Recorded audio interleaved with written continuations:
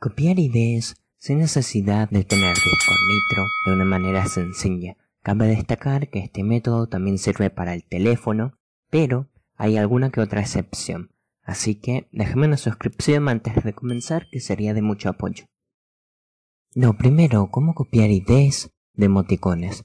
Bueno, en el caso de un emoticón que no sea animado, por ejemplo el que dice Love dentro de este servidor, en dispositivos móviles y PC, es tan sencillo como colocar una barra antes del emoticón. Enviamos el mensaje y a partir de ahora adquirimos lo que es la idea del emoticón que no es animado. Ahora si es animado tenemos que hacer otro procedimiento. Cabe destacar que esto sería la idea. Desde acá hasta el final esto lo podemos utilizar para un mensaje de embed o para la utilización de algún bot. Bien, ahora para copiar la idea de un emoticón animado, como pueden comprobar no tengo Discord Nitro, lo único que tenemos que tener en cuenta es el nombre del emoticón, en este caso Yes. Bien, lo vamos a escribir dentro del chat, ponemos Yes y antes de el emoticón claramente ponemos una barra.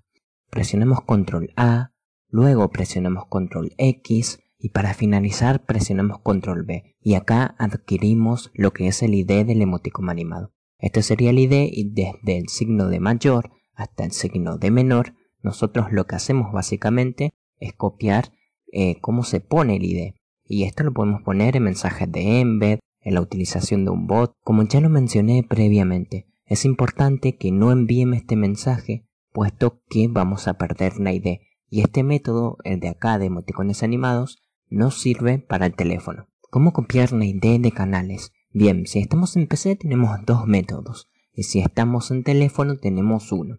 Lo primero, si estamos en PC, vamos a colocar el nombre del canal, o sea, la mención, en el teléfono también, y colocamos una barra diagonal. Enviamos el mensaje y a partir de este momento adquirimos lo que es la ID del canal. Por ejemplo, si yo quiero colocar la barra diagonal cuando está el canal de voz, dentro del PC no me deja, pero si yo estoy en teléfono me va a dejar perfectamente.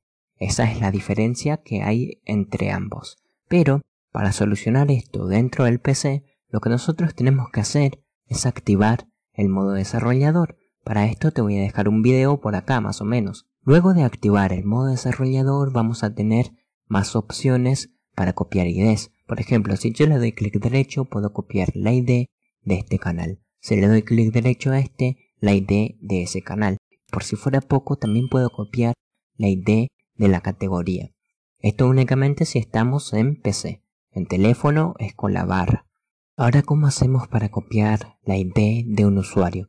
Si estamos en PC, simplemente le damos clic derecho al usuario y presionamos el apartado que dice copiar ID. Ahora, si estamos en teléfono, podemos mencionar al usuario y colocar la barra. Enviamos el mensaje y vamos a adquirir lo que es la ID del usuario. Para sacar la ID de un rol, básicamente lo que tenemos que hacer es colocar una arroba al rol, una mención, Luego colocar la barra diagonal. Este método sirve para la PC y para el teléfono. Y si estamos en teléfono también, podemos adquirir lo que es la ID del rol desde el perfil de un usuario. Si estamos en teléfono simplemente mantenemos presionado, pero tenemos que tener activado el modo desarrollador en ese caso. Si estamos en PC le damos clic derecho y copiar ID. Como pueden comprobar, hay distintas maneras de copiar IDs en Discord. Así que si esto te pareció útil me puedes dejar una suscripción